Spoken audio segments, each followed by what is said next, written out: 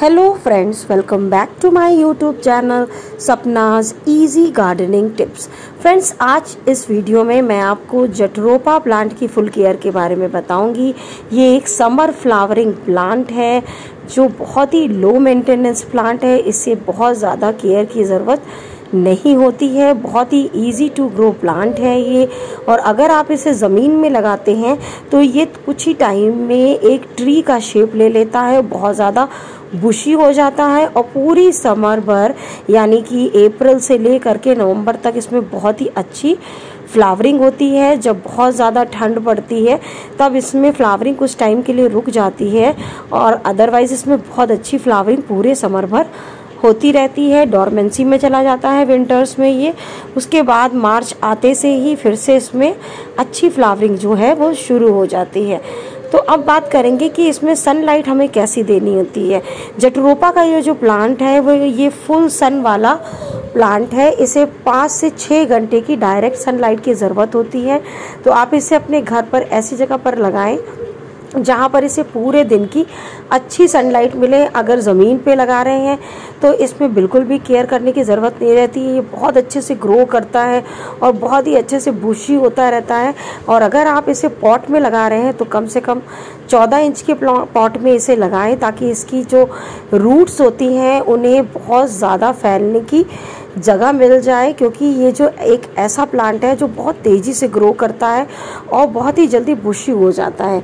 तो आप इसे ऐसे इस तरह से बड़े से पॉट में ही लगाएँ तो ये बहुत अच्छे से ग्रो करता रहेगा। मेरा ये जो प्लांट है, आप देख रहे हैं इसकी लीव्स को, ये वेरीगेटेड वाला मेरा ये प्लांट है।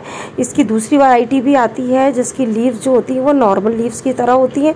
ये जो है, ये देखिए वेरीगेटेड लीव्स हैं, आप देख सकते हैं।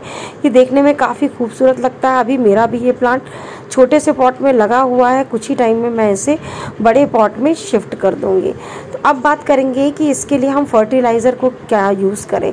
जटरोपा का एक ऐसा प्लांट है, इसके अगर आप चाहते हैं कि बहुत अच्छी हैवी फ्लावरिंग होती रहे तो इसके लिए सबसे अच्छी जो खाद है, उसमें आप गोबर की खाद दे सकते हैं। जैसे आप लिक्विड बना करके देंगे तो बहुत अच्छा इसमें इफ़ेक्ट आता है।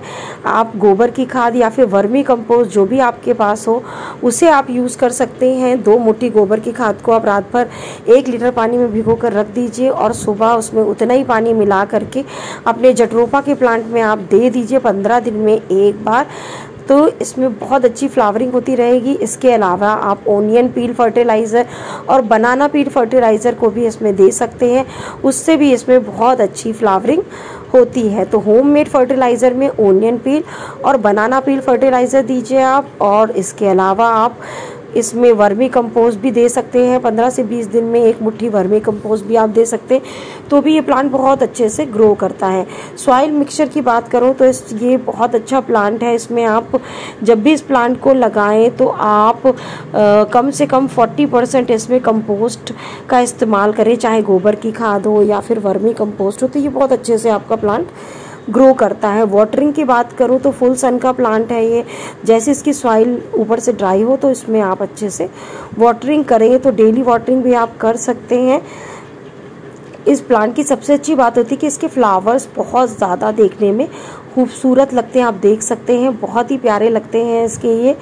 फ्लावर्स तो ये प्लांट जो आप इस समर में अपने घर पर ज़रूर लगाइए। तो फ्रेंड्स ये था मेरा आज का वीडियो अगर आपको पसंद आया है तो इस वीडियो को लाइक शेयर ज़रूर करिए।